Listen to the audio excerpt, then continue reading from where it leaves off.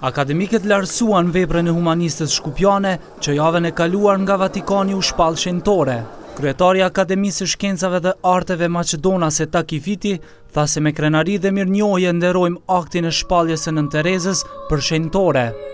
Ljubovta, Mirot, Dashuria, paqja, toleranca dhe qëllimi i bërjes së një shoqërie më humane në këtë kohë turbulente që jetojmë janë tejet të nevojshme. Rrëfimi i jetës së Nënë Terezës na tregon edhe dëshmon se në hapësirat tona është jetuar në paqe, tolerancë dhe mirëkuptim të ndërsjellë në mes njerëzve të besimit dhe kombësive të ndryshme.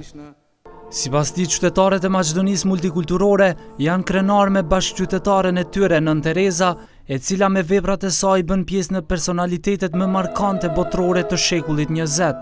Akademiku Abdylmenaf Bexheti tha se Nënë Tereza meriton respektin e të gjithëve në çdo shënim të ngjarjeve që lidhen me emrin e saj. Me të vërtetë të lëshohet një rast i tillë që është momenti i mileniumit, Për një figurë universale me vlera, do të kisha thënë, të humanizmit universal, me cilën ne s'kemi edhe një figurë tjetër me cilën mund të identifikohemi siç është figura e Shën Terezës. Ipeshkvi i Shkupit Kiro Stojanovski tha se bashkëqytetarët e Anjes Gonxhe Bojaxhiut duhet të përcjellin mesazhin e saj human.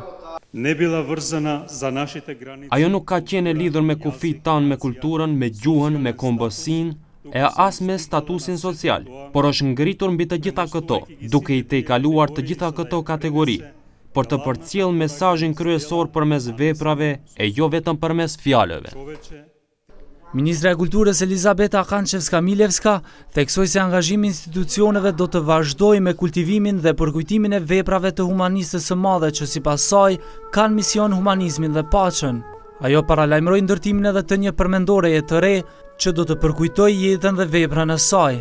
Ceremonia e Akademisë së Shkencave dhe Arteve të Maqedonisë u shoqërua edhe me ekzekutimin e disa veprave klasike muzikore nga studentët e Akademisë së Muzikës.